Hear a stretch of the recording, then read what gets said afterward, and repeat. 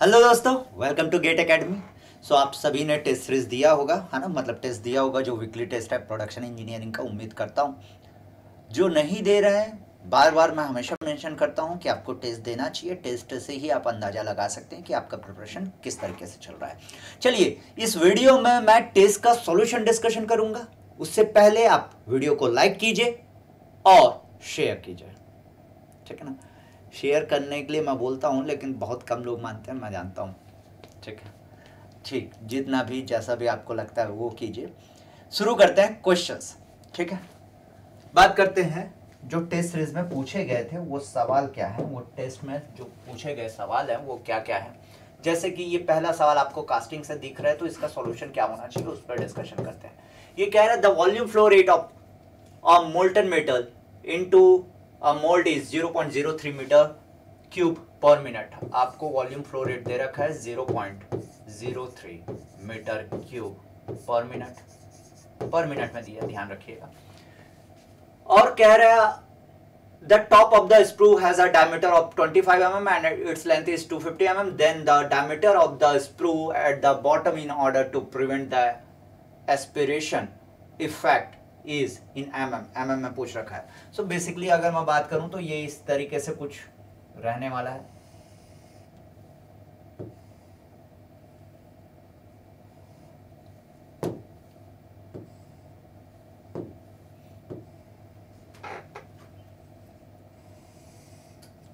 ऐसा कुछ। बिल्कुल सर। सो so, ये आपका क्या है? यहाँ पे ये हाइट नहीं दे रखा है। This is your what? Pouring basing height. And this is your sprue height sprue height दे रखा है। कितना है ये? 250 फिफ्टी mm ये दे रखा है। अगर मैंने इसको सेक्शन वन बोला, ये सेक्शन टू हो गया। ये सेक्शन थ्री हो गया। यहाँ पे आपको डायमीटर दे रखा है इसका 25 five M starting of top top dia of sprue यही तो स्प्रू है। ऊपर वाला पोरिन बेसिन है। यस सर सो so, यहाँ पे अगर हम बात करें आपका जो वॉल्यूम फ्लो रेट है that is your point zero three meter cube per minute should be equal to area two into velocity two yes sir यहाँ पे जो एरिया होगा और यहाँ पे जो वेलोसिटी होगा उसके बराबर। And that should be also equal to area three and velocity three आपको बेसिकली यहाँ का डायमीटर पूछा है एम mm में। यहाँ का डायमीटर पूछा है एम mm में। सो वो कैसे निकालेंगे? हमको पहले वी टू निकालने की आवश्यकता पड़ेगी। क्यों वी टू क्योंकि वी थ्री की आवश्यकता है। बिना वी टू या एच पी हाइट निकाले बिना आप वी थ्री नहीं निकाल पाएँगे। सो वी टू से आप एच पी हाइट निकाल सकते हैं और वहाँ से डायरेक्टली वी थ्री निकाल के आप एरिया थ्री निकाल सकते हैं और एरिया थ्री से आप डाया थ्री निकाल सकते हैं। डाया आपको पूछ रखा है। ठीक है? तो चलिए देखते हैं। एक चीज़ याद रखना कि ये मीटर क्यूब पर मिनट में है तो इसको मैं सेकंड में कन्वर्ट कर दे रहा हूँ। तो मीटर क्यूब पर सेकंड में तो वेलोसिटी जो आएगा वो मीटर पर सेकंड में आएगा। ठीक? सो so, ये पहला जो वेलोसिटी है v2 two is equal to zero point zero three sixty area two area two कितना हो जाएगा? Pi by four D square मतलब zero point zero two five square इसको भी मीटर में कन्वर्ट कर दिया? यस सर सो जो वेलोसिटी आने वाला है वो मीटर पर सेकंड में आएगा। कितना आ रहा है? कैलकुलेट करने पे ये आ रहा है वन पॉइंट राउंड अप करके zero two meter per second यही है। और ये आपका root over two G H P के बराबर हो जाएगा। यस सर अरे भैया, यही तो आपका वेलोसिटी होगा यहाँ पे। Root over two G H P और ये मीटर पर सेकंड में है तो जी की वैल्यू आप 9.81 मीटर पर सेकंड स्क्वायर में रख सकते हैं, कोई दिक्कत नहीं है।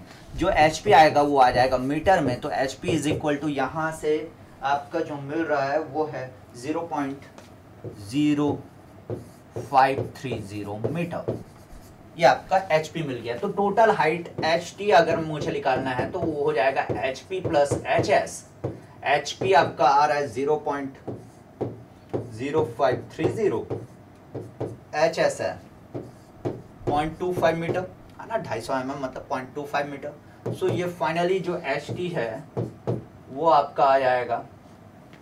Point three zero three meter. Yes. Point three zero three meter. ठीक? ये सब कैलकुलेशन आप किए होंगे ये स्टेप्स है। ये एस टी निकल जाएगा तो एस टी से आपका क्या निकल जाएगा? वी थ्री निकल जाएगा। बिल्कुल सर ये मीटर में कोई दिक्कत नहीं है। तो आपका अगेन जो आपका वॉल्यूम फ्लो रेट है उसको सेकंड में कन्वर्ट कर लिया तो meter cube per second should be equal to area three मतलब pi by four D three square into आपका velocity v three root over two G H T G कितना हो जाएगा 9.81 और total height is going to be 303 so so, यहाँ से आपका d3 लिख लेगा और ये जो d3 आएगा वो अभी मीटर में आएगा। वो किसमें आएगा? मीटर में आएगा। इसको एम mm में कन्वर्ट कर लेना भाई हज़ार से मल्टीप्लाई करके। सो so, ये मीटर में आपका आएगा 0.0161 और आपका अगर एम mm में कर रहे हैं तो ये 16.15 mm आने वाला है। 16.15 mm should be the answer तो सवाल एज सच अगर मैं बोलूँ तो यस कहीं ना कहीं आपके पूरे जो कॉन्सेप्ट हैं वो इस पे रिवाइज हो जाएँगे। ठीक है ना? सो so, ये आपका कास्टिंग का सवाल था। आगे बढ़ रहे दूसरा सवाल की ओर। आप चाहो तो स्क्रीनशॉट ले सकते हो उसका ठीक अगला सवाल वेल्डिंग का सवाल है, कह रहा है the DC power source of for arc welding has the characteristic eight V plus six I is equal to six six zero where V is equal to voltage in volt I is the current in ampere for the maximum arc power at the electrode voltage should be set as आपको maximum arc power के लिए क्या बोला है? Voltage क्या होगा? सो so, चलिए देखते हैं। सबसे पहली बात तो पावर इज़ इक्वल टू आपको पता होना चाहिए वी टू आई होता है और आपका जो कैरेक्टरिस्टिक दे रखा है वो वोल्टेज और करंट के टर्म में दे रखा है भाई। बिल्कुल सर आपको क्या निकालना है? वोल्टेज निकालना है? यस सर कि आपका वोल्टेज किस वोल्ट पे सेट करना है for the maximum power so एक काम करो, ये वाला जो इक्वेशन है, इसको अगर मैंने इक्वेशन वन दे दिया, इसको इक्वेशन टू दे दिया तो फ्रॉम द इक्वेशन टू आप आई निकाल सकते हैं। Yes sir six six zero minus eight V divided by six so so, I जो निकाले वो किसके टर्म में आ गया? वी के टर्म में आ गया। अब इसको इस इक्वेशन में पुट कर दूँगा आई की वैल्यू ये जो आई है उसको अब इक्वेशन नंबर वन में पुट कर दूँगा। तो क्या जो पावर है वो वी के टर्म में आ जाएगा? यस सर और मैक्सिमम पावर के लिए बोल रहे तो उसको वी के रिस्पेक्ट में डिफ्रेंशिएट करके इक्वल टू ज़ीरो कर दो। वहाँ से आपका वोल्टेज निकल आएगा। सवाल खत्म। ठीक? So P is equal to V into 660 minus 8 divided by 6.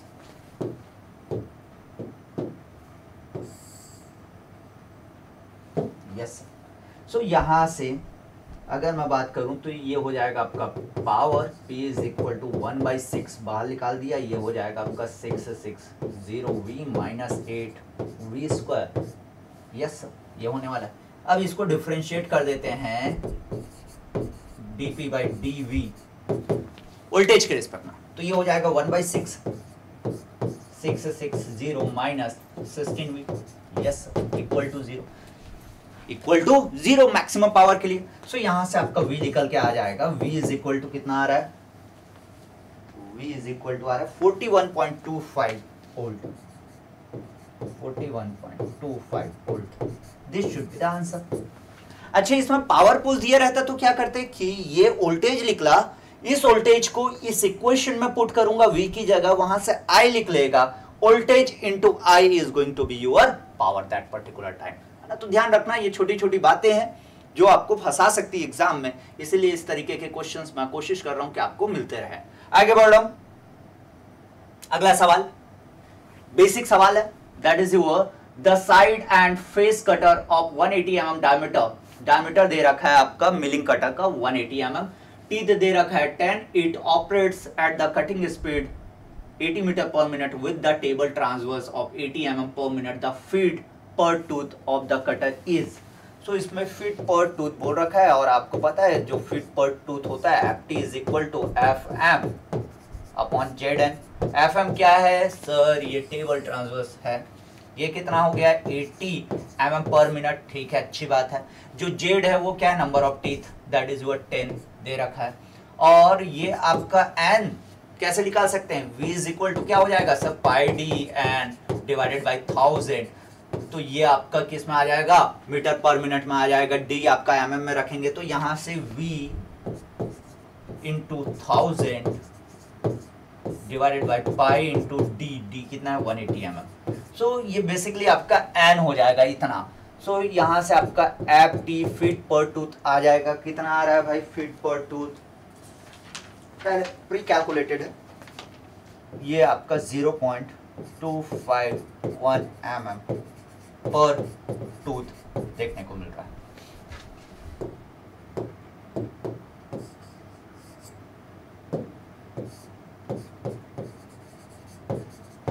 ठीक? Option A should be correct for this question option A आपका सही रहेगा। ठीक? चलिए आगे बढ़ते हैं, अगला सवाल। कह रहा है, ये मशीनिंग का सवाल है, in orthogonal machining operation following information are obtain width of cut दे रखा है मतलब आपको बी दे रखा है yes sir width of cut दे दिया है। अनकट चिप थिकनेस मतलब आपको टी दे दिया है। शेयर एंगल मतलब फाइव दे दिया है। थ्रस्ट फोर्स मतलब एफ़ टी दे दिया है। कह रहा है using Merchant's analysis for the minimum energy consumption the specific cutting pressure specific cutting pressure is nothing but your specific energy उसी के बारे में पूछ रखा है। सो so, इस पे आपको क्या चाहिए sir specific cutting pressure is nothing but specific cutting specific energy yes sir so ये हो जाएगा B T V yes this is material removal rate. This is power. Power divided by material removal rate. Material remo, uh, removal rate in case of orthogonal machining so यहाँ से आपका ये velocity और ये velocity cancel हो जाएगा क्योंकि दोनों कटिंग वेलोसिटी है विद द सेम यूनिट मैंने रखा तो ये कैंसिल हो जाएगा। सो so बेसिकली आपको F C by B T तो बी और टी पता है एफ़ सी नहीं पता टी पता है। सो एफ़ सी हमको निकालना है तो कैसे निकाल सकते हैं सर हम एफ़ सी ऐसे तो निकाल सकते हैं हमारे पास अगर हम मर्चेंट सर्कल से जाए तो आपका इस तरीके से कुछ डायग्राम बनता है। This angle is nothing but beta minus alpha ये होता है आपका एफ़ सी के बराबर। ये होता है आपका एफ़ टी के बराबर। तो एफ़ टी दे रखा है एफ़ सी नहीं दे रखा है। एफ़ टी के बराबर है। ठीक? सो so, अगर मैं इस पे ट्रिग्नोमेट्री लगाऊँ तो क्या होगा? F T by F C is equal to tan beta minus alpha मतलब tan beta minus alpha is equal to F T by F C yes F T दे रखा है एफ़ सी नहीं दिया है। बीटा और माइनस बीटा और alpha की value भी नहीं दे रखा है। लेकिन ये बोल रखा है कि मिनिमम एनर्जी कंजम्पशन मतलब बेसिकली आपका जो मर्चेंट एनालिसिस का जो इक्वेशन है शेयर एंगल मतलब relation between the shear angle friction angle that is your beta and rake angle that is your alpha तो बीटा क्या है आपका? फ्रिक्शन एंगल है अल्फ़ा क्या है आपका? रेक एंगल है। तो वहाँ से आप निकाल सकते हैं क्या? यस सर हमारे पास क्या होता है? Two phi plus beta minus alpha is equal to ninety degree ये रिलेशन होता है?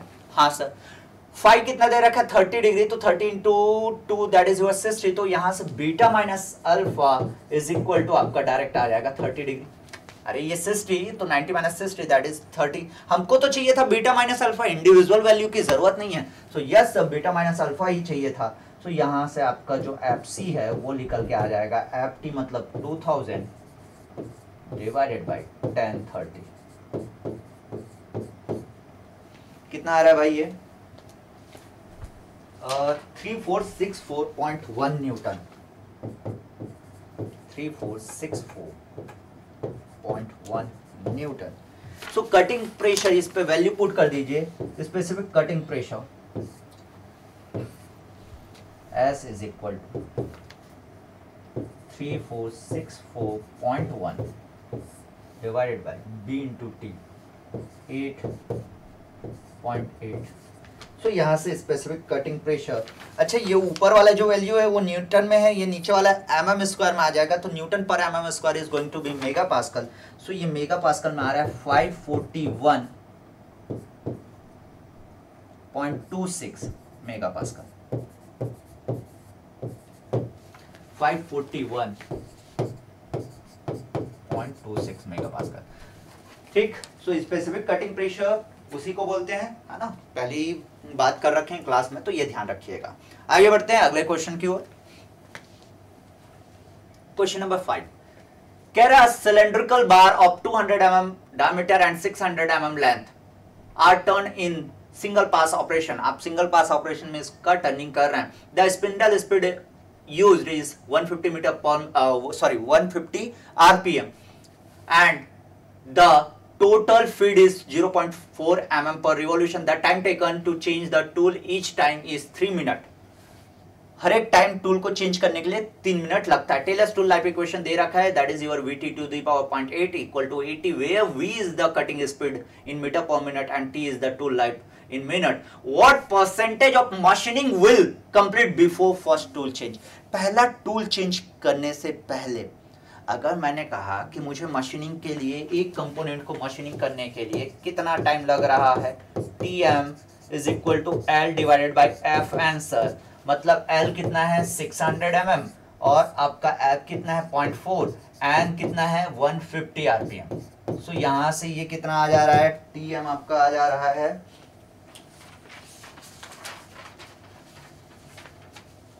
दस मिनट। कितना आ जा रहा है? दस मिनट। सो ये मशीनिंग टाइम हुआ। दस मिनट आपको एक कंपोनेंट को बनाने में लगेगा। आपको टूल लाइफ कहाँ से निकालना है? सर टूल लाइफ के लिए क्वेश्चन दिया है। तो इस पे बोल रखा है कि फ़र्स्ट चेंज फ़र्स्ट चेंज कब करोगे? जब टूल खत्म होगा। सो so, उसका लाइफ कितना है? ये कैसे पता कर सकते हैं? सर ये इक्वेशन से पता कर सकते हैं। तो यहाँ से सो so, सीधा सीधा मैं टूल लाइफ निकाल रहा हूँ। 80 डिवाइडेड बाय आपका v मतलब पाई डी एंड d कितना है इसका? 200 एंड कितना हो जाएगा आपका? 150 ये मीटर पर मिनट में चाहिए तो थाउज़ेंड से डिवाइड कर दिया यस सर सो ये आपका निकल के आ जाएगा टू लाइफ टू लाइफ निकल के आ जाएगा। कितना आ रहा है भाई? ठीक. ये आ जा रहा है zero point eight one four minute देखो बच्चा इतना मिनट में टूल चेंज करना पड़ेगा। इतना मिनट में आपका टूल चेंज करना पड़ेगा। सो so, पहला टूल चेंज करने से पहले कितना मशीनिंग हुआ है ये कैसे पता चलेगा? इतना टाइम में आपको टूल चेंज करना है। बेसिकली इतने टाइम तक चलना चाहिए था लेकिन इससे कम चल रहा है तो परसेंटेज ऑफ़ हंड्रेड परसेंट के लिए क्या चाहिए था? दस मिनट कम से कम चलना चाहिए था। लेकिन ये तो बहुत कम चल रहा है तो वो परसेंटेज आप निकाल सकते हैं percentage of machining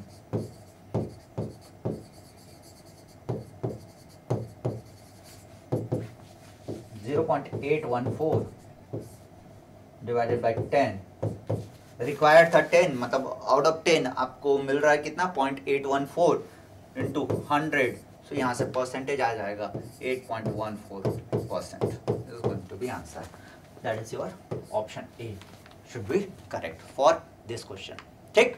चलिए आगे बढ़ रहे देखो, इस प्रकार के क्वेश्चंस आप अभी तक जो सवाल देखे, कहीं ना कहीं मेरा मानना है कि अच्छे सवाल है।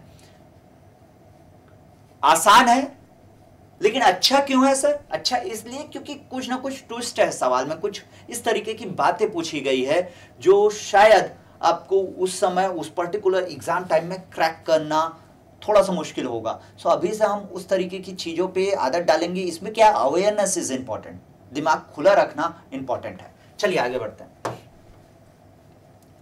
थ्योरिटिकल क्वेश्चन है। क्वेश्चन नंबर सिक्स एक एमएसक्यू क्वेश्चन था। कह रहा products formed by metal forming process are generally stronger than the other manufacturing processes because there is volume change occurs in metal forming metal forming में हम plastic deformation ही पढ़े हैं. That is your volume constant तो पहला option तो नहीं होगा। ठीक है? This process are always performed as cold working condition नहीं हम कोल्ड हॉट वार्म और आइसोथर्मल ये सब देखे। हैं सो so, नहीं भाई। This process is involve large amount of plastic deformation yes करता है। प्लास्टिक डिफॉर्मेशन करता है। Metal forming large amount of plastic deformation आपको देखने को मिलता है। It is possible to control grain flow in specific direction yes आपका किसमें? कोल्ड मेटल फॉर्मिंग में ये देखने को मिलता है। सो सी एंड डी आपका इसका आंसर होने वाला है। बड़ा सिंपल सा सवाल था। अगर बेसिक आप कवर किए मेटल फॉर्मिंग में क्लास का लेक्चर ही सुने होंगे तो आप आराम से इसको कर पा रहे थे। ठीक, आगे बढ़ते हैं। क्वेश्चन नंबर सेवन अच्छा सवाल है। कह रहे in direct extrusion process 400 hundred M long cylindrical billet with initial diameter of 80 M mm. अच्छा। चलिए। बिलेट का लेंथ दे रखा है आपको 400 हंड्रेड mm. और initial diameter that is your D not eighty M आपको दे रखा है। डी फाइनल आपको दे रखा है 40 M M assume that the redundant work is 30% of the ideal work work ideal work let us assume wi is the ideal work. अच्छा ये आइडियल वर्क क्या होता है? Sir, ideal work in the extrusion is the mean flow stress yes into force निकाले। अरे, आपका work done देखो। Work done क्या है? Force into velocity sir so ideal work yes अब यहाँ पे सॉरी वर्क डन वेलोसिटी थी यहाँ पे आपका डिस्टेंस तो डिस्टेंस क्या होगा लेंथ? जितना बिलेट होगा, उतना लेंथ आपको ट्रेवल करना पड़ेगा। बिल्कुल sir. So F I into length so F I ideal force कितना हो जाएगा? आइडियल फोर्स आपका हो जाएगा mean flow stress into area initial area that is your pi by four D not square मतलब एट्टी स्क्वायर ये mega पास करना है तो ये न्यूटन में आ जाएगा। और लास्ट में ये आपको मीटर में कन्वर्ट करना रहेगा मतलब point four point four so ये क्या मिल जाएगा आपका? आइडियल वर्क मिल जाएगा।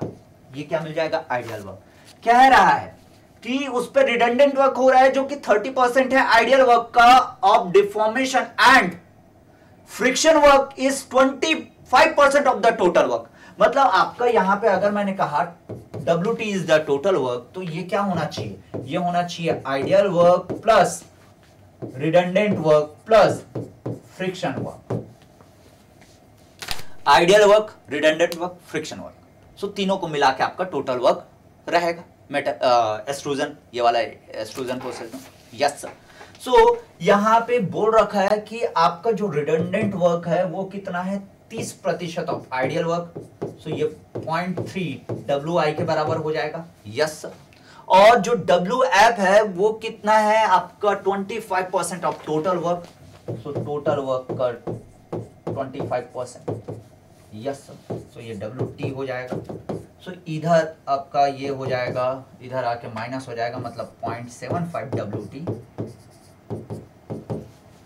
and one point three W I yes ये आपको देखने को मिलेगा।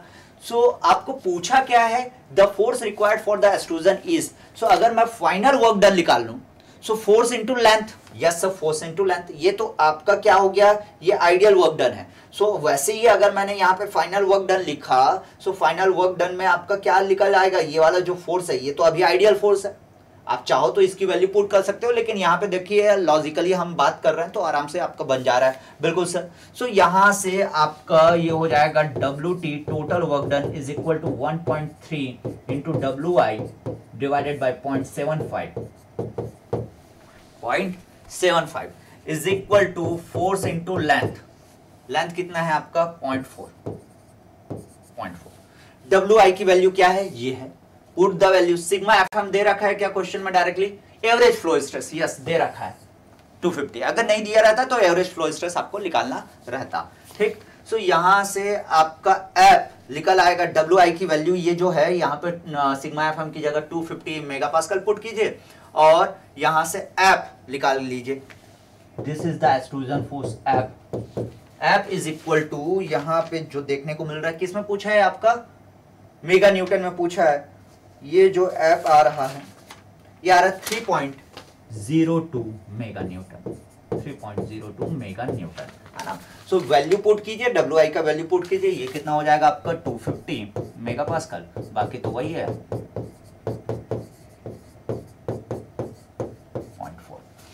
ठीक?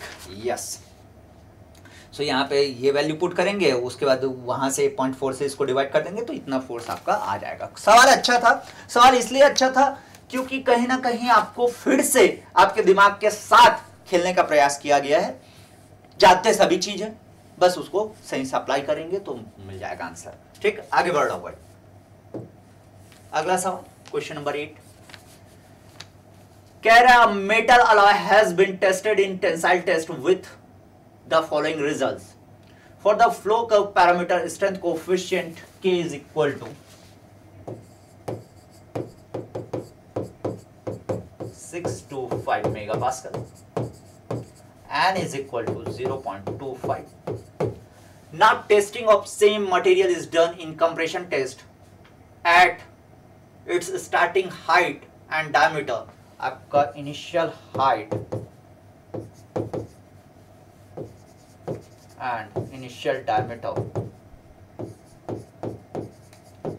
दे रखा है, ठीक। यहाँ से फाइनल डायमीटर भी निकाल सकते हैं, क्योंकि आपको फाइनल हाइट दे रखा है। कह रहा है assuming that the cross section increases uniformly the load required to compress the specimen of height of 50 M M is so final height इसका कितना हो जा रहा है? 50 M so this is nothing but a forging process दोस्त. Forging process की तरह ही काम करेगा. याद रखना, इस पे फाइनली आप क्या कर रहे हो? कंप्रेस करते जा रहे हो कंप्रेस करते जा रहे हो तो लास्ट में जो स्ट्रेस होगा 50 एम mm पे 50 एम mm पे जो इंस्टेंटेनियस स्ट्रेस मिलेगा, वो कहाँ से मिलेगा? फ्लो कर्व से. आपका यहाँ पे जो फ्लो स्ट्रेस होगा that is your K into epsilon T to the power N yes ये फ्लो कर। सो so, ये इंस्टेंटेनियस स्ट्रेस लेना रहेगा। मीन फ्लो स्ट्रेस नहीं ले सकते एवरेज स्ट्रेस नहीं ले सकते। ध्यान रखना। फोर्जिंग पढ़े है ना? ये गलती नहीं करना। अन्यथा नंबर जाएगा आपका। समझे क्या बोला मैं? मीन फ्लो स्ट्रेस ले दोगे तो खत्म। आपको तो इस इंस्टेंट पे निकालना है ना यार। मैक्सिमम फोर्स ये this is nothing but a case of forging so yes यहाँ से आप निकाल सकते हैं। अच्छा डी फाइनल डी एप आपको कैसे निकाल सकते हैं sir H I seventy into D I square that is twenty five square divided by fifty का स्क्वायर रूट सो यहाँ से डी एफ़ मिल जाएगा। डी एफ़ कितना आ रहा है? Twenty nine point five eight M M ये डी एफ़ मिल गया। ठीक। सो so, यहाँ से आप फ्लो स्ट्रेस निकाल सकते हैं। यस सब फ्लो स्ट्रेस निकाल सकते हैं। अच्छा फ्लो स्ट्रेस के लिए आपको तो एप्सलॉन टी चाहिए। So epsilon T epsilon T is equal to log H I by H F मतलब लॉग सेवेंटी बाई सीधा सीधा फिफ्टी कर दीजिए। ये आ जा रहा है zero point three three six ठीक। तो यहाँ से आपका इस पर्टिकुलर स्ट्रेंथ पे स्ट्रेस कितना आ रहा है वो निकाल लेंगे। के कितना है? 625 mega pascal into epsilon T मतलब 0.336 टू द पावर एन मतलब 0.25 ठीक? ये आपका आ रहा है 475 लगभग। मतलब अप्रोक्सीमेटली इसको मैं 476 सीधा लिख देता हूँ। मेगा पास्कल इतना आ रहा है क्या? ठीक? ये आपका फ्लो स्ट्रेस हो गया। मतलब उस इंस्टेंट पे कितना स्ट्रेस लग रहा है ये पता चल गया। तो यार, मुझे तो निकालना है फोर्स किलो न्यूटन में। So force is equal to क्या हो जाएगा? जो आपका फ्लो स्ट्रेस उस इंस्टेंट पे होगा इनटू आपका फाइनल क्रॉस सेक्शनल एरिया उस समय जो फाइनल क्रॉस सेक्शनल एरिया होगा वो। So sigma F that is your 476 megapascal यहाँ पे हो जाएगा pi by 4 final diameter yes sir that is your 29. Five eight square so ये भी एम में होगा। यहाँ से आपका जो फोर्स आएगा वो न्यूटन में आ जाएगा। आपको फोर्स किसमें पूछा है? किलो न्यूटन में पूछा है। फोर्स किसमें पूछा है? किलो न्यूटन में पूछा है। यस सो so, यहाँ से आपका ये जो ऐप आ रहा है किलो न्यूटन में three two seven point one one seven kilo newton this is going to be answer ये आपका आंसर हो जाएगा। Three two seven point one one seven kilo newton ठीक? सो so, अच्छा सवाल। अच्छा सवाल इसलिए क्योंकि आपको आ, क्या होता है कि ड्राइंग पढ़ते हैं हम एस्ट्रोजन पढ़ते हैं हम हम पढ़ते हैं रोलिंग सो so, उसमें क्या होता है? मीन फ्लो स्ट्रेस का इस्तेमाल होता है। लेकिन जो फोर्जिंग है उसमें हम इंस्टेंटेनियस स्ट्रेस ही कंसिडर करके चलते हैं। ध्यान रखना। ठीक? चलिए आगे बढ़ रहा ओके क्वेश्चन नंबर नाइन क्या कह रहा है? अ होल ऑफ़ डायमीटर ये शीट मेटल वर्किंग का है। ये कह रहा है hole of diameter 70 mm is to be point in sheet metal of thickness 6 mm. ठीक है।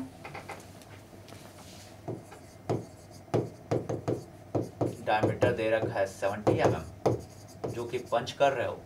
आपका जो थिकनेस है, वो दे रखा है 6 mm the ultimate shear strength is 450 newton per M square normal clearance on the tools cutting is completed at 40% penetration of punch penetration आपको दे रखा है 0.4 लिख देता हूँ सीधा सीधा है ना 40% penetration yes if a share of 2 mm share आपको दे रखा है 2 mm is provided on the punch the minimum force required with the sheared punch is आपको यहाँ पे फोर्स निकालना है यस सर सो ये जो पी टी है पेनिट्रेशन ये पी है पी इंटू टी मतलब पॉइंट फोर इंटू सिक्स इसको चेक करते हैं। अच्छा। ये कितना आ रहा है? चेक कर लेते हैं।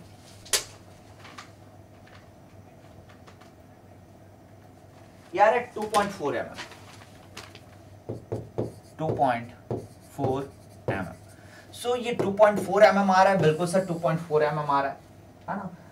तो जो PT है, वो क्या S से ज़्यादा है? क्या yes PT is greater than S तो इस समय जो आपका ऐप का फॉर्मूला होगा, वो हो जाएगा ऐप मैक्सिमम इनटू PT क्योंकि शेयर प्रोवाइड कर रहे हैं तो divided by shear plus PT correction factor के साथ yes so this is going to be your formula और यहाँ पे जो मैक्सिमम होगा, वो लेंथ ऑफ़ कट कितना हो जाएगा? पाई इंटू मतलब seventy pi L T T कितना है? Six L T tau yes into P T मतलब आपका ये सीधा सीधा 2.4 लिख देता हूँ। Divided by 2 plus two point four किसमें पूछा है? किलो न्यूटन में पूछा है तो इसको थाउज़ेंड से और डिवाइड कर दीजिए। तो सीधा सीधा आपका फोर्स आ जाएगा। कितना आ रहा है? Three twenty three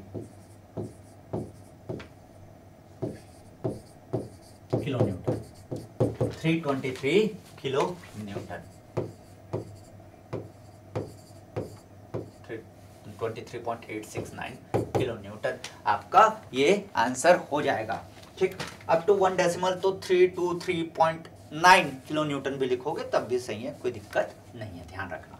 ठीक? सो so, ये question number nine question number ten क्या कह रहा है? Thirty M M diameter hole is pierced जो होल है, उसका डायमीटर कितना है? थर्टी एम एम है।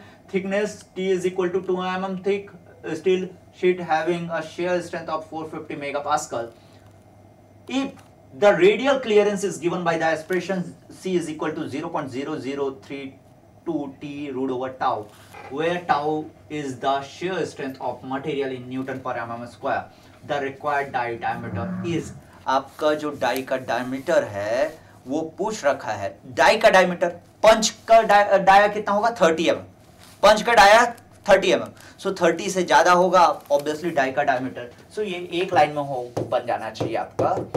Die diameter is equal to जो डाया होगा that is your thirty plus आपका डायमीटरल क्लियरेंस मतलब two into zero point zero zero three two thickness कितना है? Two M M root over tau four fifty mega pascal newton per M उसका बराबर है, ठीक। तो यहाँ से आपका ये आ रहा है thirty point two seven M M thirty point two seven M M should be the answer so आप देख सकते हैं ओवरऑल अगर मैं बात करूँ तो ये दस सवाल आपके पेपर में इस तरीके से थे कि कुछ सवाल आपसे आसानी से बन जाते कुछ सवाल में अगर आप दिमाग लगाते तो बिल्कुल बन जाते सो so, दो चीज़ें। पेपर सभी को देना है। फ्री ऑफ़ कॉस्ट है। आधे स्टूडेंट तो मतलब बहुत ही लेट में जागते हैं। पता नहीं।